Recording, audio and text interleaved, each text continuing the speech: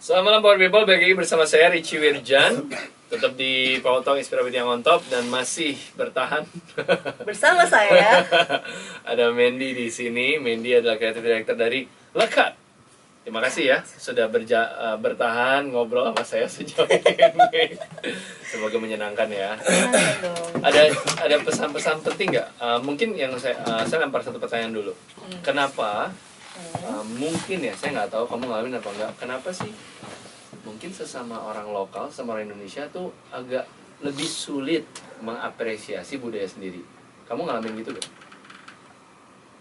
Kalau saya pribadi sebetulnya kalau emang bagus sih bilang bagus Hmm, oke. Kalau enggak ya enggak Hmm. Jadi enggak yang bagus tapi terus dibilangnya jelek gitu kan enggak Oh, oke oke. Maksudnya ya udah gitu Dan nanti yang tulus juga kok bilang produk Indonesia. Oke, karena bukan berarti produk Indonesia itu jelek ya. Iya. Mungkin gini loh, eh, kayak misalnya orang-orang yang mau membuat sesuatu tapi dia nggak punya reference, Oke.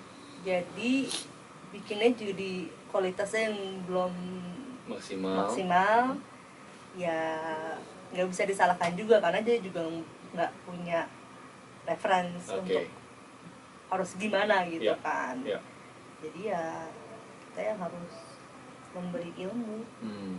kita Ada- yang kita yang Hmm. punya kelebihan apa udah ada experience-nya Ya, kita berbagilah. berbagilah tujuan Oke. ilmu Nah, seberapa boleh tahu nggak, Me- uh, Mandy sering nggak sih bikin kayak workshop itu kayak ini caranya begini loh gitu. nah belum sih Belum ya, Belum abis, sih. abis ini ya nanti ya. Ya, ya. Ih, seru ya. Oke. Baik, abis balik dari Tokyo, lihat nih. Yes.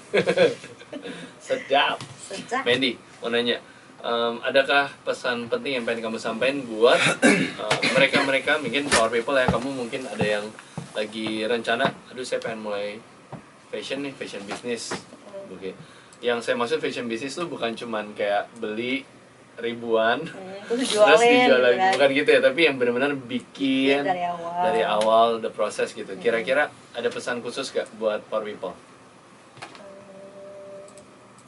ya sebetulnya sih kalau memulai sesuatu pun ya harus konsisten kan. Maksudnya di direncanakan awalnya mau bikin apa terus dilihat kompetitornya siapa terus udah pernah ada yang buat belum seperti ini oke. Kalau udah ada yang buat Jangan. buat ya ya kan? Kecuali dia bisa membuat sesuatu yang lebih unik lagi dari itu. Hmm.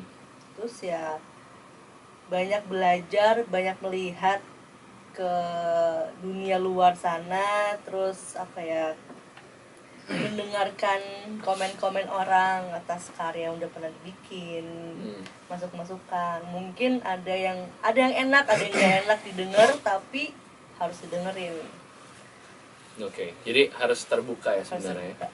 emang sih susah karena itu kayak apa ya kita egonya kayak gimana gitu. Iya, karena saya seorang Karena ego kita sendiri gitu kan Hmm. cuman harus dikalahin. Harus ber- harus berani terima pendapat orang lain ya. Itu aja. Ada pesan yang lain? Hmm. satu nasi goreng satu ah nasi goreng satu boleh sih martabak Emang satu nih produser nih idenya nih. Oke, kalau misalkan Power People mau cari tentang lekat, itu carinya di mana? Mungkin bisa di share informasinya lekat bisa dicari di Kemang di, Selatan di Kemang Selatan itu di Jakarta ya. Jakarta bukan di Bekasi Hmm. Bukan. di proses depan Hello Kemang Oke, lekat di situ lekat. Kalau mungkin ada sosial media yang uh, People bisa cari Instagram mungkin atau Facebook ah. at lekat di hati. At? Lekat di hati. Lekat di hati. Kenapa namanya lekat di hati? Bisa banget sih. biar melekat di biar hati benar-benar semua kayak as simple as that ya. Biar semua yang ya yang ngeliat yang beli itu ngelekat di hati ya. Sedap. Mantap. Sekali terima kasih terima kasih juga. Terima kasih ya Mandy. Saya bersyukur sekali kamu mau mampir di sini aduh ngobrol. makasih juga ya Mas Ricci. Aduh baik banget ya Mandy. Thank you Mandy. Terima kasih sekali lagi. Em, saya mau ngucapin apa ya? ya saya mau ngucapin terima kasih. Saya juga mau ucapin terima kasih buat power people maksudnya.